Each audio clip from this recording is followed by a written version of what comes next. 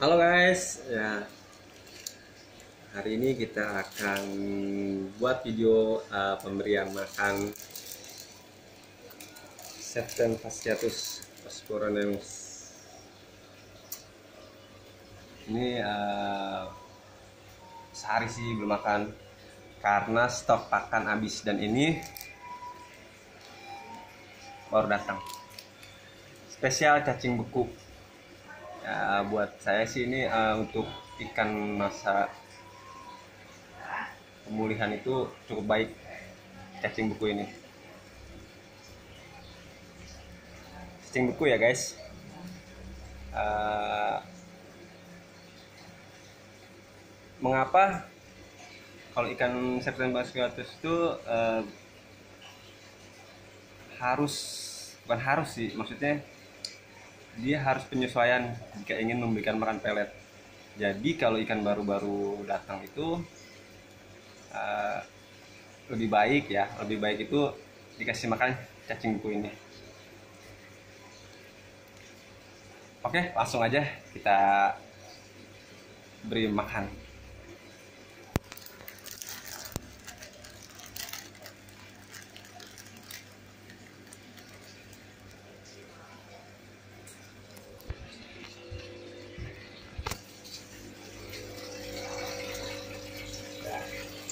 Ini kita ini sih yang belum belum pada makan ini udah hampir sehari setengah belum makan kita akan coba kasih makan.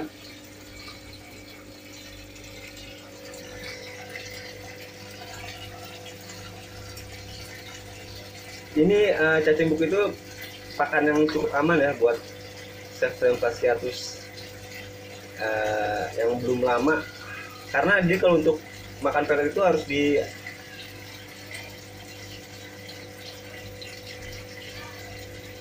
dinormalin dulu. Maksudnya jangan langsung dikasih pelet karena uh, penyesuaian penyesuaian pakan juga. Karena uh, buat saya sih pelet itu uh, makanan yang cukup berat ya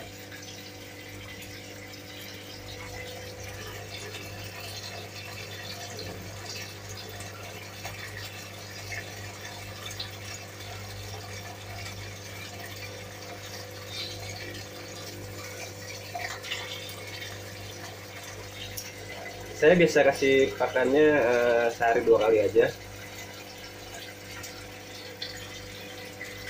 Uh, sehari dua kali cukup untuk status ya, jangan terlalu kenyang juga karena takutnya bloating nah kenapa uh, untuk pelet itu sedikit kurang saya anjurkan? Karena memang uh, kalau yang dia sudah terbiasa itu nggak apa-apa. Tapi kalau misalnya dia belum terbiasa ikan baru dari alam itu saran saya jangan langsung dikasih pelet terlalu banyak. Dan pelet itu pelet yang ngambang ya. Eh jangan pelet yang ngambang pelet yang tenggelam. Karena kalau pelet yang ngambang itu mudah hancur terus uh, gampang membengkak di uh, apa mengembang di kalau pencerahan lagi kurang baik itu bisa mengembang di dalam tubuh gurame tersebut. Ya. Kita kasih yang ini dulu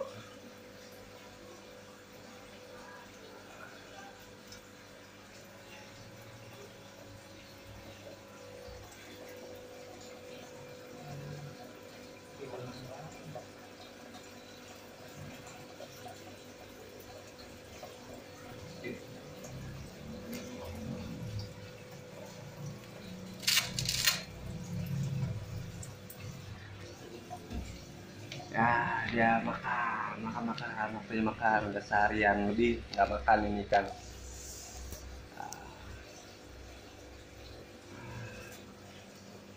Ya kalau ini uh, gurame albino Thailand. Albino Thailand. Kalau ini udah terbiasa sama pelet. Peletnya pelet tenggelam. Saya biasa pakai pelet itu magic crab magic crab cukup bagus. Hmm, bukan promosi sih uh, memang ya cukup bagus cuman kalau mau lebih bagus lagi ada Tetra Beats itu uh, bagus banget Tetra Beats buat nemu warna juga cuman ah harganya cukup mahal Oke guys, eh, segitu dulu tips dari gua. Semoga bermanfaat. Hmm, next, jangan lupa like, subscribe video gue. Nanti gua akan sharing-sharing lagi. Oh iya, ini sedang saya treatment ya, maksudnya mencoba mempercepat pengeluaran warna dengan trik-trik saya. Nah, nanti akan saya eh, akan saya bocorkan eh, dikasih apa aja. Ya pasti eh, dengan bahan yang alami dan yang aman buat ikan kita. Oke, itu aja. Terima kasih. Bye.